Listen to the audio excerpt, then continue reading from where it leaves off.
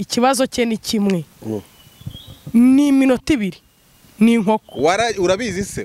Yaka ha- navugisha ukuri turi kumwe. Ngewe yaka nutabeshya ndaguha bitanu. Ariko buriya namaze kugukubitiramo kagurira. Nakunyweregura cyangwa nkagukubitiramo kunyagi Eh. nturi kureba ko ufite ikibuno kingana gutyo Sha- nagucangana izina ry'imana ukananshimira. Ukavuga ati yakamera isi urakoze cyane. Hacyamo nakubiza icyuya we Eh, buriya uri kundeba ngo ndi gato gato buriya naguseseye mwaya matayi ngiwe. Hacyamo ngo wabira icyuya hano bamwe musuzugura abantu. Ariko njye waraye mbonye umukobwa muzima natuze nkajya ku murongo online ubuzima kuri wowe ni umeze gute sasa? Hmm? nkanjye. Oya riza we yajya nkubita. Urabona atameze yenda kurira nk'ikihebe ko nabivuze acitse intege. Izagushyira ku murongo. Ariko yaka ni ukujya ngusanga muri ziriya ndaya ngahita ngufata gutya. Hakujyanana na yo. Nkagukubita. Zikakunukira. Iki ndakubwiye ngo n'ibintu najya ngo najya mbiguha nagukubise zakunutseho. Nkabitamwo amarira. Sha uhita oya sha yakata uya mbikora ndi kubitamwo amarira mabuja oya ukuntu ndyoshye bandi. waba ukirira naguhaye. Ukuntu ndyoshye ntago waba ukirira koreza shaka. Ariko sha ndaryoshye mwa bantu mwe. Eh? Si wowe ni ukuki ndyoshye gutya? Si ubu ni ukuki nakumva naryoha gutya? si ubu ni ukuki nakumva naryoha gutya we? Waza kunsogongeza sha. Nyamara nanjye ndaryoshye. Nari mbabaje mu ijuru kabisa. ubu ngubu urifungutse gutya ngo wa! Njye nasimbukiramo n'imana irabizi pe wa mana urabizi. Mm. yaka wowe? Njyewe ikintu nifuza ku mana. Imana izampa amafaranga ndye neza ndongora abagore hano ku isi iryo joro izarirekere rwose icyo wakamuhannye ni iki? Icyo twakamuhanye ni ukurara mu nzu z'indaya. Yakareka nkubwire. Eh? Hari igihe uzarara mu nzu y'indaya iyo yakobo uba wagiye guhahira ziyisigarane ntabwo ubizi umusore baciye yakobo? Ntabwo ubizi? bibaho ariko ni impanuka nose ni bwo bwa mbere naba ndaye mu ndaya mfite imyaka mirongo itatu n'ingahe ziraramo yaba ari impanuka. Ntabwo wambasha ariko. Maze na yuhi akagomba ka biro ni inyoni. reka tongere tuyi ikaze uri kureba x large twizere ko umeze fresh kabisa. Nk'uko bisanzwe kuri x large ni kuma episode episode episode. Hanyuma iyi munsi murababona imbere ya kembereza za x large barakeye bameze neza bararyoshye kabisa ibintu ni sawa cyane. Yakamwana gasore pacifique hamwe na liza bombi murabazi kabisa. Murabazi ko ari aba entertainers hano mu rwanda barenze. Liza amaze iminsi ahura na kanyombya kanyombino. Uh, yaka nawe yahuye na kanyombya kanyombino. Bwa mbere aravuga ati njye nari nakurwaye bya bindi bya hatari noneho uyu munsi abantu benshi kuko bagiye badusaba ati liza uh, na yaka reka tuganire nabo tumve ukuntu byifashe. Liza umeze fresh? Je neza. Weekend yagenze neza? Byatari yagenze bonbon? Fo iyo swag yawe ndakubona kabisa kuri izo butine zawe. Izo bazita butine? Izi nkweto izi nkweto nanjye sinzi uko zitwa. Izi ni za zindi ariko zo gutembera kabisa ahantu. Eh, njya mbona abantu batembera cyane cyane bo mu parike bakunda kwambara bene izi ngizi. Izi nizo nzadiha kanyombya nambaye. Alright, yaka nawe umeze bon. Safi kabisa. Uko safi uko bien uko fresh? Za kitoko. Za kitoko. malamu. Mwabi mwa bien. Ndenge uh, mtoto kitoko. Mwasi kitoko. Mwasi kitoko ah, mwasi kitoko. Mwasi kitoko menamoni penza uh penza ayi munene. Ayi munene? Munene penza ayi mingi. Anakula vimba peti uyi munene boyendenge mumenye ko nta cyizere mbafitiye kuba muri no kuvuga ibintu ntumva buriya biri gutuma ndushaho kutabizera. Ndavuze ngo mwasi kitoko umugore mwiza ariko warabyibushye cyane riza duherukana muri paparazi ba. Ufite akabuno gato- ufite akabuno koroshye ariko n'ubu wagize ikibuno kinini kandi, yaka, ikintu cyitwa ikibuno aracyemera cyakora ebana sayizi kabisa. Eh, ikibuno cyanjye gisigaye gikomeye nk'ibibazo by'i kigali. Ibibazo by'i kigali. Ati ni za sayizi afite ikibuno nkunda buriya ngewe nkunda izi izi sayizi izi ngizi. Ariko kubera icyo ubikunda cyane yaka nkunda umukobwa ufite ikibuno kujya kugurira abandi se kutarangurira kukugurira Mm. kuguteza imbere se kuguteza imbere Mm. Eh? nteze imbere se ncuruza iki ko mvuze kungurira Eh. Ariko ngo uracuruza nkababona hari abafite ikibuno ariko bacuruza buri iki iyi ni amafaranga ubitsa aho ngaho inyuma yawe Eh. Hari abagicuruza ikibuno umukobwa ufite ikibuno rwose aho anyuze usanga abantu bose bamukeneye. Ariko rero erega kenshi na kenshi ni byo bya bindi bavuga ngo ni uburaya kandi yakanabakunda kubivuga cyane ibyo bintu. Urumva ntago bari wese rize uramurebye ubona ya- yagiza gutya oya niba adacuruza si byo ariko nanone gutangira ubuntu nanone kibuno ufite ugomba kukibyaza amafaranga. Ugomba kukibyaza umusaruro igihe gifite. Ejo bundi n'igihombana ntawe uzaba kikureba. Ntabwo ikibuno kijya gihombana. Eh? ntabwo kijya gihombana. Ndamaye nka data reka bazacyoroshye uzabumbwira ninde uzacyoroshya se? Oya bari impamvu. Yakuze ko tugeze gukora ikiganiro mu minsi yashize akavuga ngo ngo ngo zarazamutse ngo sinzi ngo wagira ngo na zo zinywa esanse. Mm, ibintu byarahenze ariko.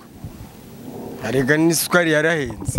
Izi sukari irahenda bigahurira gute? Nose oya mani oya indaya zinywa igikoma kandi zigura isukari. Hari indaya zifite abana. Abana bakwiriye igikoma kandi isukari igikoma kigomba kuba gifite isukari. Ase urumva nabo bagomba mu ko ni niko kazi kabo? ni abakozi arega. Eh? Eh, ni cyo gishoro bafite. Igishoro cyabo n'umubiri bafite. Nkuko mbwira eh, Riza nawe iki kibuno mu gihe ukigifite. Ugomba kukibyaza amafaranga. Kuko niyo mari ufite? Ni ukuvuga ngo ni- zahabu kandi yitwa ikizahabu yitwa zahabu. Sesa zahabu.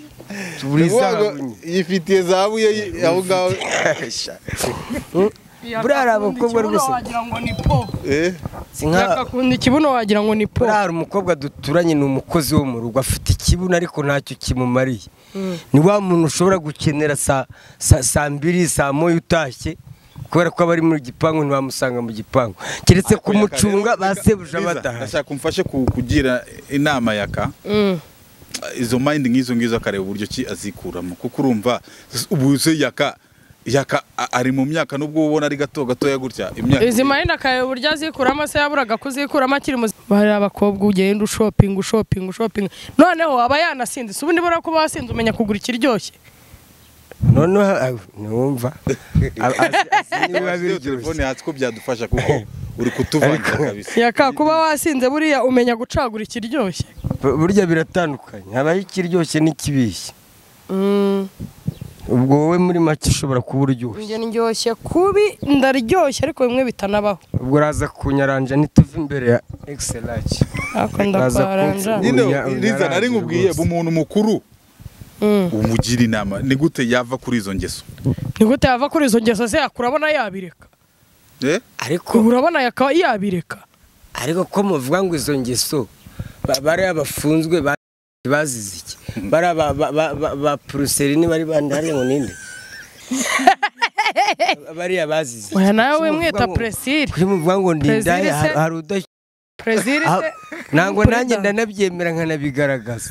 Ababikora bihishe se bafite n'ingo abagabo ahangaha bafite abagore babo mu mago bakajya gufata abakobwa hano mu mahoteli naye nta buryo ubona abasaza bafite abakobwa babakodeshereza n'amazu kandi bafite amago. Ariko igihe wabihereye wakabaye warabihazi. Kuko Wose bimazemo warabihazi? njye se ndabikora. Eh? Njye ndabikora. Uri isugi. Njyewe Mm. sindi isugi. Ariko kubera ukuntu ndyoshye sinjya mpombonye wese.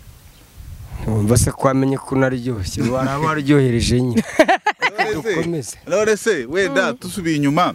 Gusa manibu nawe ntubuze yaka kujya arongora abikora we no kumubwira wenda kuri gahunda kuko urumva twavuze ngo ageze mu kanya mbere yo kujya tujya kuri kamera swambazaga girlfriend we? Yaka yaka namukubaje girlfriend we ariko yakabura iyo mwitegereje mbona atabasha gutunga girlfriend. Nta nungira nta nunkeneye ngiye ngura ku mifungo. Ura- agura ku mishandiko. Urabazi abacuruza barahari. Mm. Eh, natwe turi abakiriya none se nyine urumva bikaza nyine ni byo bintu nakubazaga. Mu kanya se wari uri kuvuga ati Yaka- yakagire girlfriend Yaka- ashake yubake urugo. yakareka nkubwire. Yaka igituma ngewe numva ibintu byo gushaka umugore kwe mba numva mbikeneye ariko igituma bigeraho nkumva ndanabiretse nashaka azamureke. Urabona umugore washobora yakaruhuye yakakunda inyama. Yajya anazibara. Yaka ntiwamurisha indyo imwe kabiri gatatu. Ntabwo wamuha ibintu bimwe ngo ukwezi gushire. Yaka ibyo bintu ni byo? Hmm? ibyo bintu ni byo avuga? Yaka warya umwana umwe ukwezi kugashira. Kereka n'abandi bahari. Ntabwo ubyumva se? Icyo cyo niko kuri kuko urabona. Ngaho reba ufashe umwana wawe ukamujugunya ngo umukingiye yaka. Mwese uba umujugunya simfa simfa ku- kumuhahira se akambara neza hari ikindi Yaka, uzi- nkagenda ariko nkagaruka. Uzi umukobwa wakemera yaka? Ntabwo ari abakobwa njye hari umukobwa wambwiye ati ngewe yaka ubaye umugabo wanjye. Mm. Nta kibazo rwose kugenda ukanca inyuma ariko ukagaruka. Yaka ikibazo Nta cyaka ntabwo mukizi ninjye si ihari ntabwo ari ngewe gusa n'abandi barahari. Nta bantu se bafite abagore ntanabikubwiye abantu bafite abagore bubatse bafite n'ingo zikomeye ariko bajya mu ndaya. Ese yaka nta bagabo se ni abagore bafite abagabo bubatse bafite amago ariko bafata abandi batipe biganye. Yakuze impamvu afite rezo yo gushoka yo ntabwo ari ngewe gusa tujye impamvu afite rezo yo kujya kugishopinga. Yaka impamvu afite rezo yo kujya kugishopinga yaka nta mukobwa guhera ku myaka mirongo itatu kumanura hasi. Nta mukobwa urimo wakemera yaka ko ari ikintu cyeze. Yaka kugira ngo azabone umugore reka nkugire inama kugira ngo uzabone umugore. Nuko uzashaka wa mukobwa wa- wa wundi no wabazi nk'igihe yari ariho. Mani uwo mukobwa ni we vuga uzakwihanganira ngo nzaba amafaranga mani talks. Ngenzi abatipe hano birirwa barongora for free nta n'igiceri batanga bitewe n'uko bafite none se amafaranga yaka ko udashoboye no gupfubura byibuze ngo umuntu yakwihanganira kubera ko uzi no gupfubura?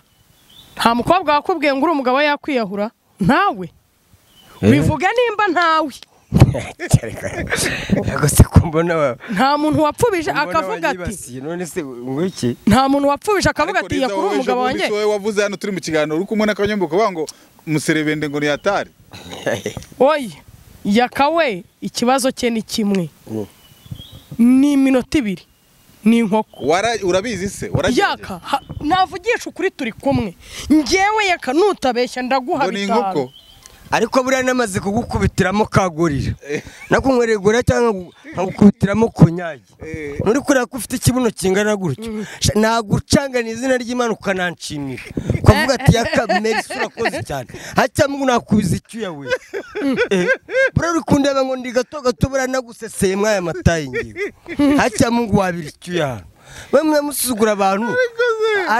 None se ubwo reka nkubaze manibu niba ya- ya- yambiza icyo yayanyweye ingufu cyangwa gorira ubu ngubu mu gihe mu rugo twaba twakennye ntabwo twajya tubikora. Ntabwo twajya dutera akabariro twakennye akagurira kamwe se si igihumbi. Niba ari igihumbi se ubu nta gihe umuntu akena njyewe n'aya mavuta. kuki se uvuze ngo iminota ibiri ngo ni inkoko? Uzi ko buri unamukemesheje yakavugisha ukuri. Ariko wazambaye Yaka- nka- yaka, nka- nanjye ikintu- nkabanza nkagutengeneza nkagutunganya sha ca wegera wewe ngo ngo- ngo eh? Njye nureka ibintu by'ubukoko nzaguha. Warangerageje se? Yakavugisha ukuri ngereka nkubwire. Nanjye ikintu umbwira ubizi ko cyabaye.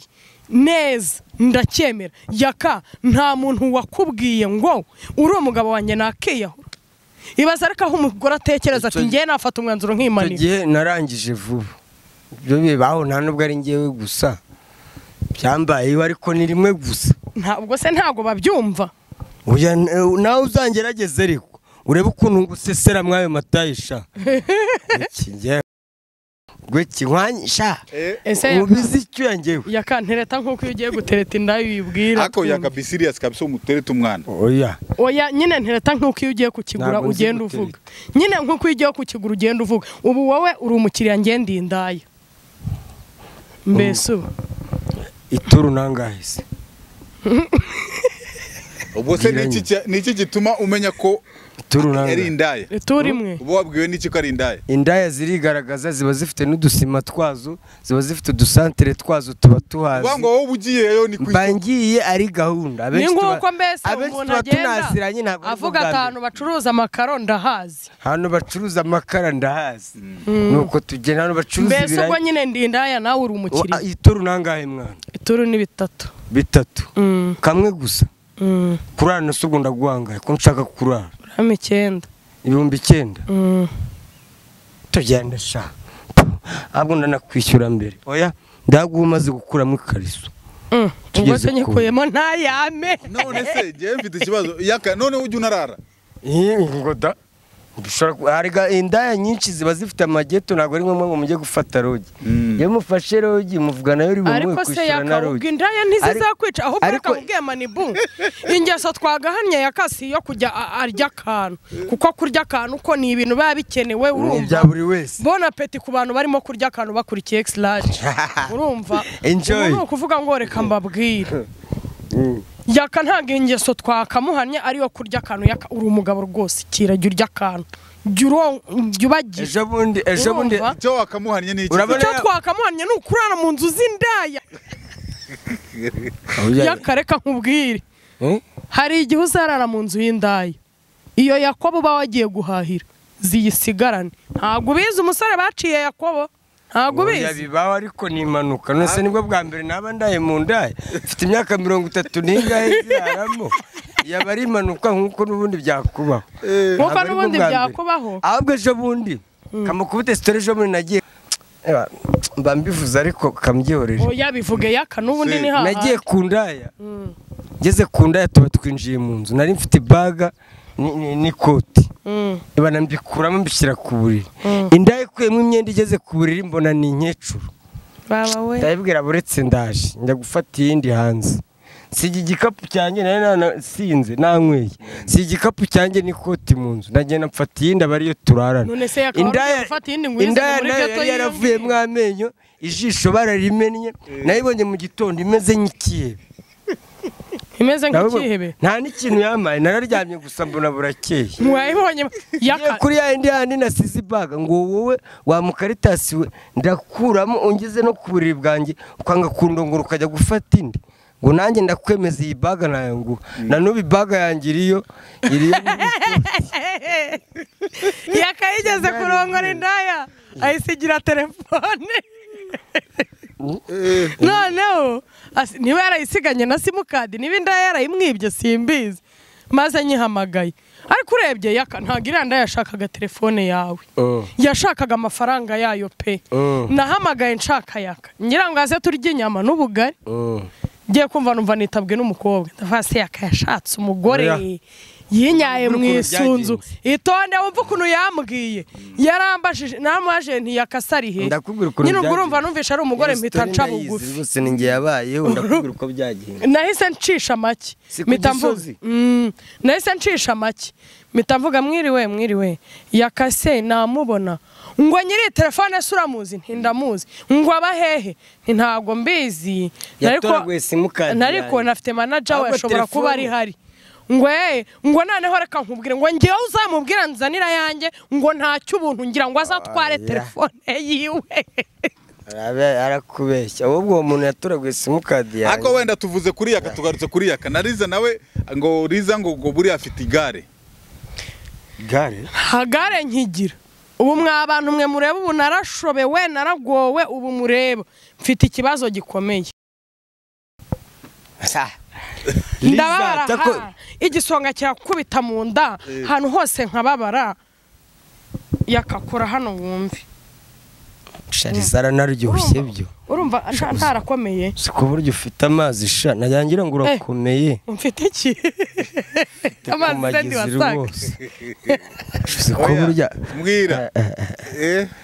Nyamara aba bantu barya neza. Ngenda tetema do umuntu usesera Oya, mwaya do. mata yarya neza kabisa. Ngenda Sha, tetema waza kunsamuza sha shariza ko twabanye sha ko nari ngukomeye kuko nta kuntu waza kwijijisha kuko nubwo nta muri mwe gusa. Rimwe se ribaho. Hari ikintu wari ugiye kumubwira? Yaka ntabwo tugiye gupfa ubusa turi inshuti. Mwarize urabizi ko kuva kera. Yaka turi inshuti aho kugira ngo dupfe ubusa. Ngo ntabwo mugiye gupfa ubusa? Yaka ntabwo tugiye gupfa ubusa yaka twapfa ubusa twari. Ariko se yaka baretse kunyitendeka. Uretse nanjye nkumva ukuntu Yesu agira neza. Reka negame wumve ukuntu ariko shaho mba meze. Liza sha u- Kandi uteye yaka neza ni icyo ariko reba probleme ahantu iri buriya umukobwa ufite amabere manini. Ni we ushyuha mu buriri uteye neza ariko ikibazo ufite utubere dutoya. Mfite utubere dutoya? Mm, noneho yakaba ashaka rya bere bamusasira rimwe bakamworosa irindi. Niwe ushyuha mu buriri ariko se mwarize tukavuga ibintu biri Mu- ariko riza weruka gusenga. Heruka gusenga pe? Yaka wowe weruka muri cyaki ya merukayo kera kabisa. Oya ngiye muri caci nanjye simaheruka. Ariko si- Ariko icyo simeruka ngo- wararokotse Si- si- ba- bari baramwe ati "Ri- riza yararokotse. Ariko warokoka n'abasore beza bari i kigali wowe?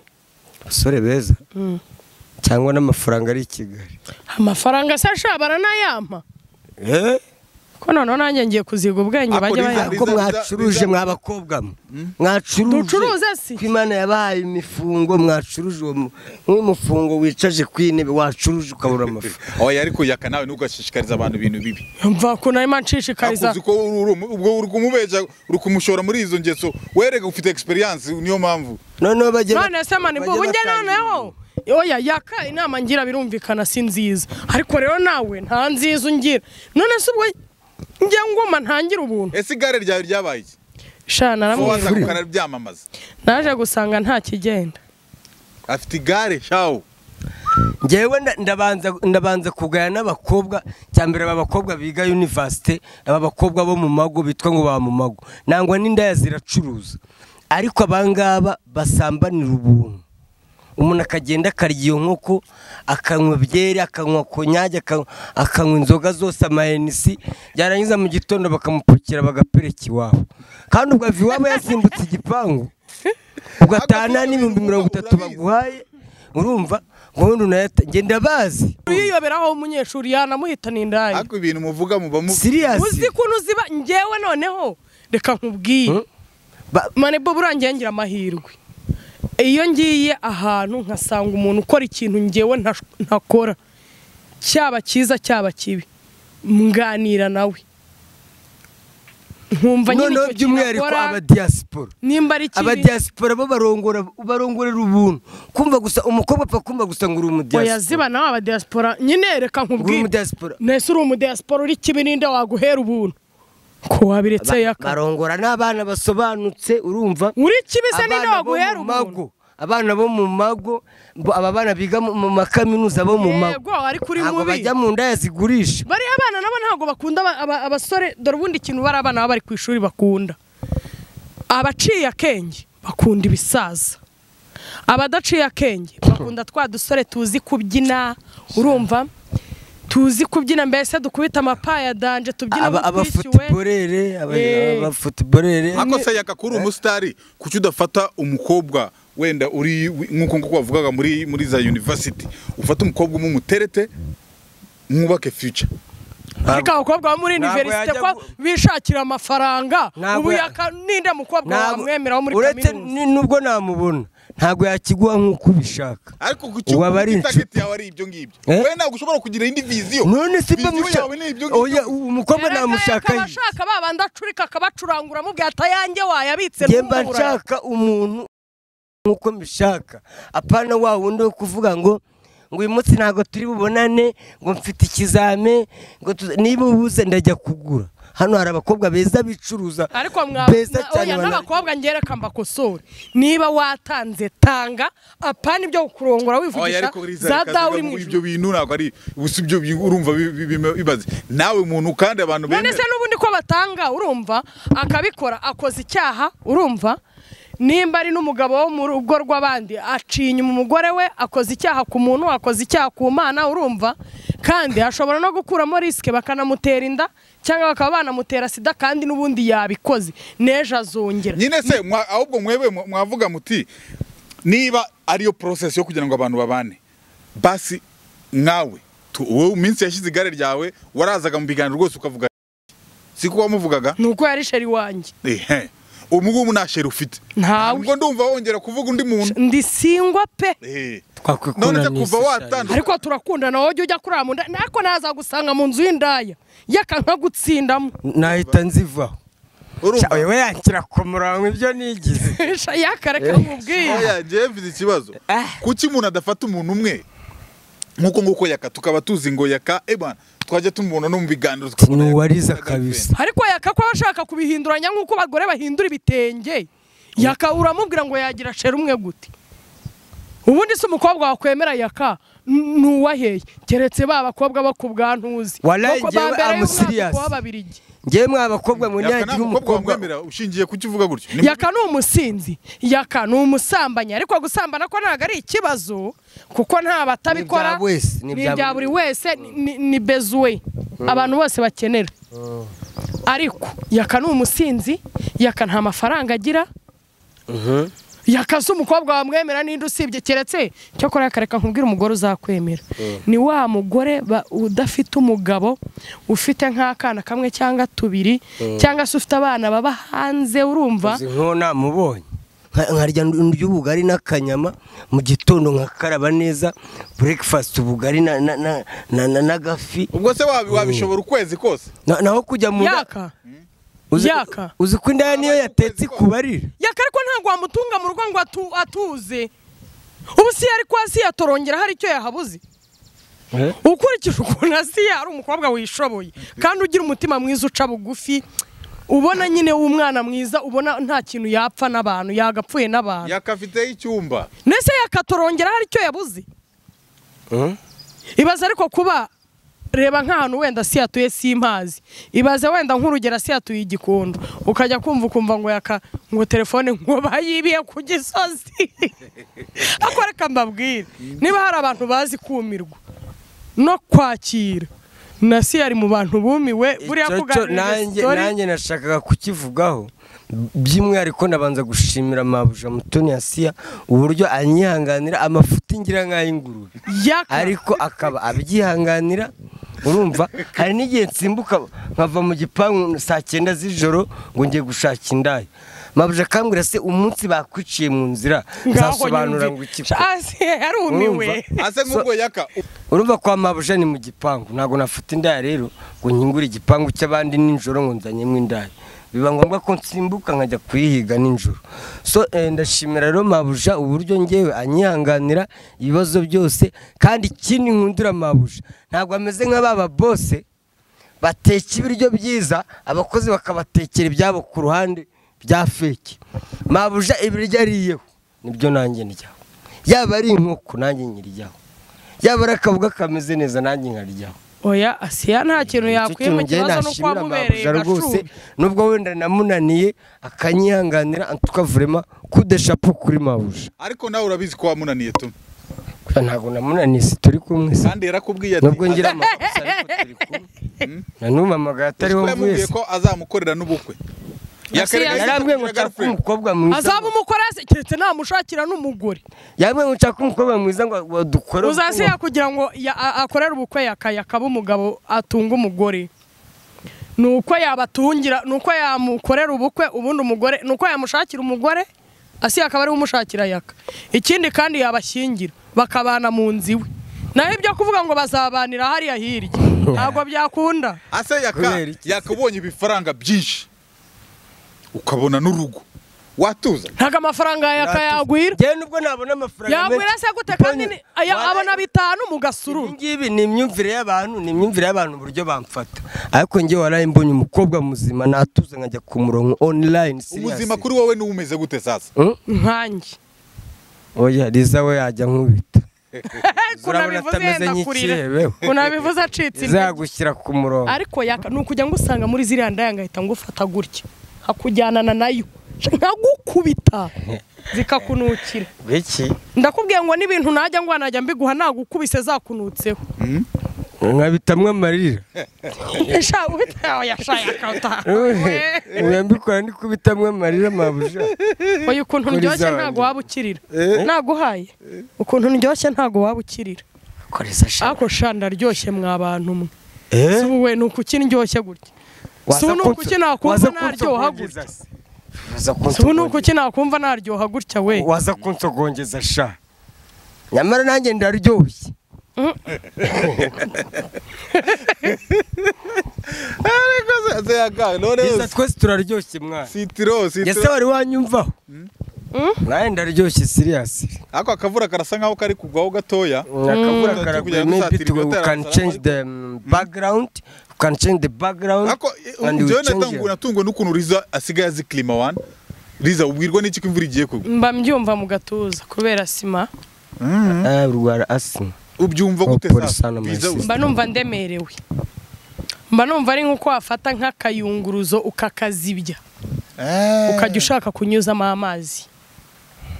Ubwo icyo gihe uhita wumva ko imvura igiye kugwa uko biri kose mpita mbyumva ko niyo yaba itari bugwa ako kanya ariko icyo nzi cyo butarari itaguye cyangwa butira itaguye. Kuko ni bwo umbwira ati tugende dukore hakiri kare ko imvura iraza kugwa. Mbona nta ikirere kimeze uko nabone dore koko imvura ariko buriya mu gatuza. buriya riza nta kintu kiryoha nk'imvura ya saa yine imvura ikagwa nyayo iyo mvura ntabwo mumaze ari kurya iryoha muryaye iyo mvura ntabwo ari iryoha. Reka nkubwire imvura iryoha. Uzi kuba uri kumwe n'umusore. Nako na sheri wawe. Njye ntabwo ngenda namwe. Nubwo muri ari iyi twe minsi- turyoherwa gusa. Burya n'abakobwa muraryoherwa sha uretse se nkubwire ubundi iyo uri kumwe na sheri wawe. Mugateka ubuga iyo ngiye mfite sheri nteka kare. Saa kumi n'ebyiri mba ntetse isosi.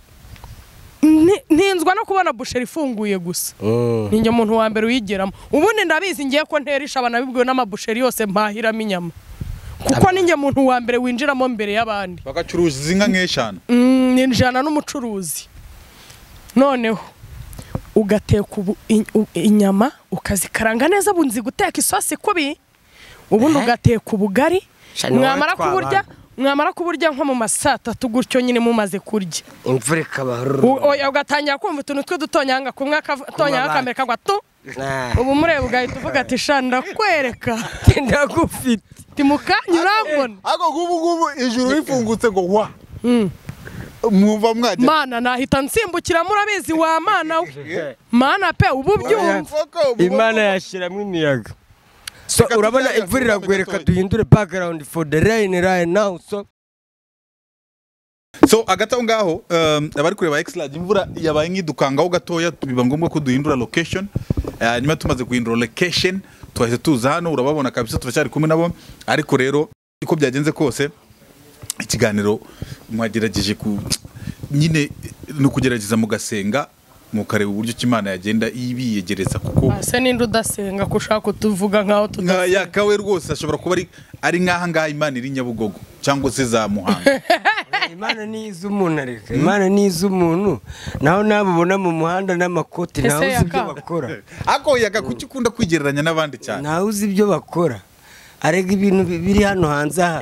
Birakabije. Kuko iyo ugiye kumwibutsa ibintu bye kenshi ahita akubwira ngo aha ngo abanditse ngo abanditse ameze nka kwa kundi kera. Eh? Umwana cyo- bamutumaga agahita avuga ngo watumye uriya. Eh, ni ngo ntabwo ajya ashobora kubyikorera ibyiwe ah, ah. eba ningenda ngenyine imana irarura erega aho tuzajya hose ntawe uzagenda wenyine. Nari mbabaje ngo ijuru ubu ngubu rifungutse gutya ngo wa!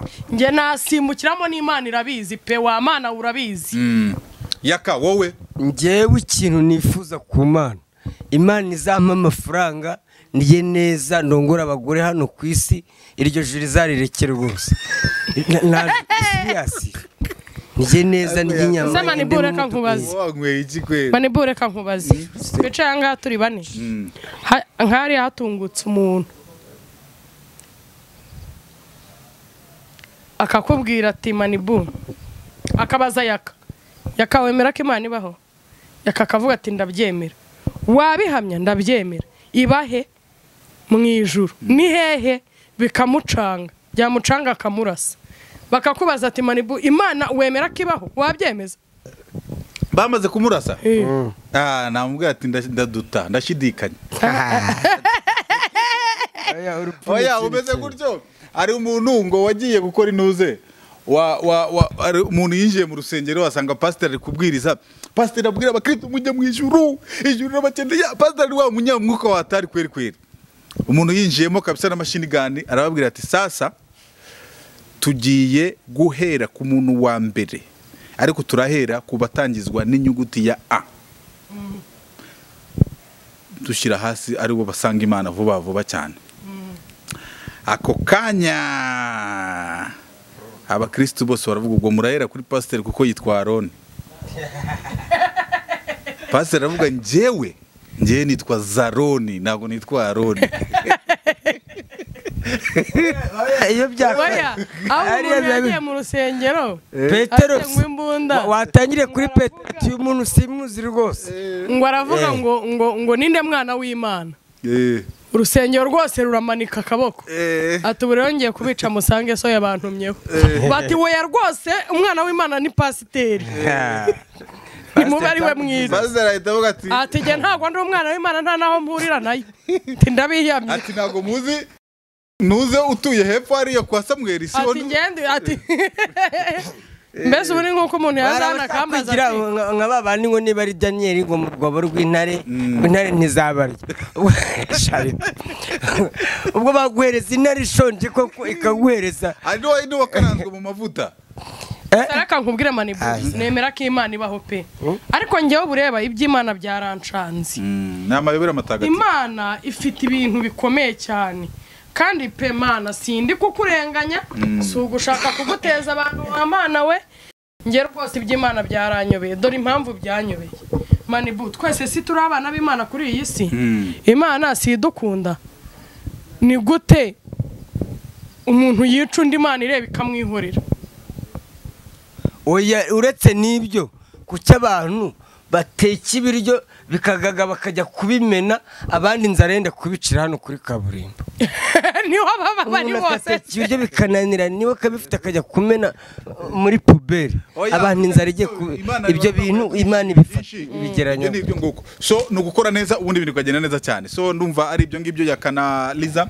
Tubareke imana kwanza na yo aho ngaho yabikoresha ikimenyane. Ya- ya- eh, wenda oya noneho reba. nubwo yaduha ku biryo reba imana reba imana urumva? Upinze imana noneho. Oya pe ni wowe? Ntabwo tuyipinze niba ushaka ihari kuyipinga. izabikosora kandi ngewe nkubwira niba ihari koko izabikosore kuko nyasigaye mbona rimwe na rimwe ari nabi. umuntu reka nkubwire manibu. Njyewe ntabwo nzavuga ngo nese manibu ukunda imana? Cyane. Manibu ukunda imana? Uretse kumva ko ihari gusa ariko yesu we sha manibu waretse kubeshya ko. none se wowe wanga imana? Uyikunda se urayizi uyikunda kuko wayibonye. Kuko ibyiza byose umuntu ageraho kandi ko twigishijwe twigishijwe gukunda. Ubu se urankunda. Yes. So imana si yaremwe mu mpa ishuri bitanu. Eh? Mpa bitanu niba unkunda ariko imana ntabwo ari gutya ikora. Umva nkubwire. cyaba ari reka ikigeragezo nkubwire ikintu kimwe ugomba kumenya. Mbere y'uko ngewe mvuga njye sinabeshya imana ngo ndayikunda. Ariko nimba imana amategeko yayo avuga ngo kunda mugenzi wawe nk'uko wikunda. Nzajya nkunda bagenzi banjye nk'uko nikunda nta kuyikunda kurenza uko ni ukuvuga ngo yakawe ngo afite ibintu wumva imana yakosora. ngewe ngewe ikintu kimbabaza gusa. Kubona abantu hano bababaye abandi barya bakajya no kumena. Erega wivuga bakure nanjye mvuga ndababaye. Nkumva. Kuki uri kunca? Wenda iyo igereranya basi ikagira akantu gatoya basi turinganizaho.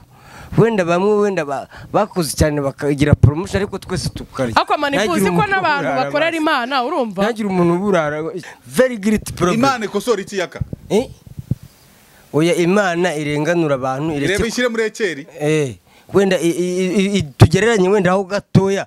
Basi turye gusa basi imana mana yakari kuvuga ngo urenganura abantu asabira abandi. Mana wenda abo ngabo bavuga barenganure ariko mana njyewe unyihera ibihumbi magana atanu. Ubwo ni byo nishakira. usabye make oya ndashaka ibihumbi magana atanu mana uyame. Irayaguha erega iyo ujya gusaba amafaranga imana biterwa n'icyo uri buyamare. Nayo yari kumi yaguhe miliyoni. Vuga ngo imana impumugisha. Mana uherezereze umugisha. Ndawakiriye. Ariko yaka iyo ugiye kuryama ujya usenga. Eh, njye ndasenga cyane. Uravugisha ukuri. Yaka keretse iyo nabyibagiwe ariko na mu gitondo iyo mbyutse ndavuga ati mana undinde kuri uyu munsi undinde ibigeragezo undinde umwanzi satani undinde impanuka mu mihanda. Keretse iyo nabyibagiwe rimwe na rimwe nshobora kubyibagirwa. Kuva uyu munsi ugereka nkubwire ikintu ubwongere mu isengesho ryawe. Wongeremo na undindi ndaya icyo cyo mpora nkibibwira niyo nabikoze ndavuga ati mana umbabarire ni umubiri wananiye rwose kandi uyu mubiri ni wowe wawundemanye ukiriyemo imiyaga rwose. Wongeramo na undindi ndaya bimere nka wa muhanzi umuhanzi imana irabizi yaraje ko njya nyine sinzi uko yitwa. adukubita indirimbo ya mbere nziza koko. Agatunda bagakubise hariya turaceza harashya abarongeye. Akubitamo indi yitwa ndera. Rompe. Abakubisemo rompe abantu bararompekana harashya koko urumva? Hatangira no kujya haba ngo ngo pati kubera ibyo bintu byo kuvuga ngo abantu barompekane ngo rompe ngo rompe. Arangije ahantu yabyiciye. Aba yongeyeho ngo manu uzandinde ijipo. Hari iyindi yasohotse yitwa manu ndinde ijipo. Uwo muhanzi we urumva hari ataniye na yaka. Ni ukuvuga ngo ni ubuhanzi nyine. So reka tubabwire tuti thank you very much guys for coming. Hanyuma eh, yaka dusomera amakuru mu cyongereza dusoza. Distinguished ladies and gentlemen, distinguished ladies and gentlemen, I'd like to thank all the students who have been satisfactory, completed courses. Thank you very much. I kunda you. I love you, everybody here. ako ariko warakaborotse nawe eh, eh, distinguished liza wakoze cyane rero yakaba yarayumvishe we kandi nari nibagiwe Eh. This is radio rwanda broadcast from kigali. You are going to hear the news in english. Murakoze cyane. No, se kubivuze nyuma kwa kwa introduction ni nyuma. liza asante sana. Eh, asante sana papa. Ko yakuzi ko amenye. Orera sha. Yaka Ni yemi. Hago wamba shari. maze na yuhi akagongo akagongo kari gacitse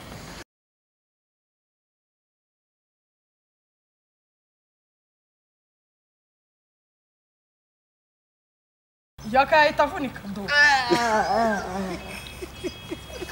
kandi ngewe wicaraho urebe ko ntayikora utapanda cyane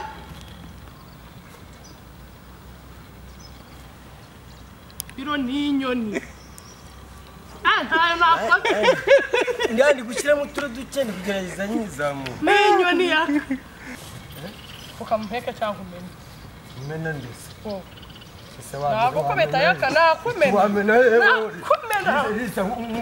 murye kataji do murye kataji murye kataji mwinjiremo niyongoza mpita mbikwera